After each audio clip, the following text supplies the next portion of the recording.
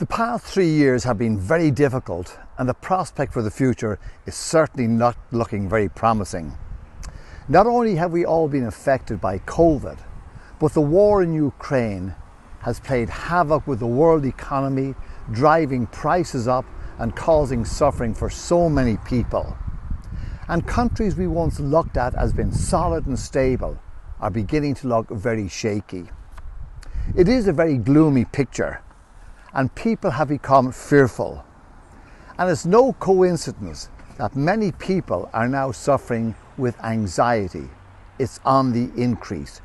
People are fearful, they're worried, they're losing hope. When I read the Bible, I see the people of God facing dark, discouraging moments.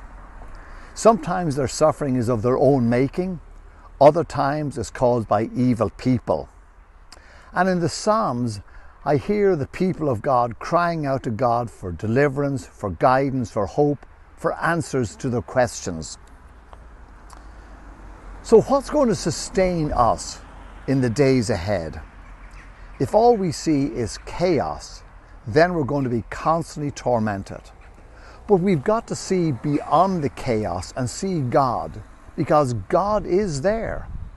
No matter how much chaos there is, God has not abandoned us. God is with us. Scripture portrays God as one who carries his children. He's portrayed as a shepherd who finds the lost sheep and carries it home to safety.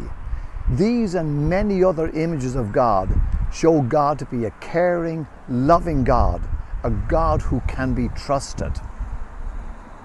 Let me share with you words of comfort from the prophet Habakkuk, who himself was facing difficult times, but continued to trust God. This is what he says Though the fig tree does not bud, and there is no grapes on the vine, though the olive crop fails, and the fields produce no food, though there are no sheep in the pen, and no cattle in the stalls, Yet I will rejoice in the Lord.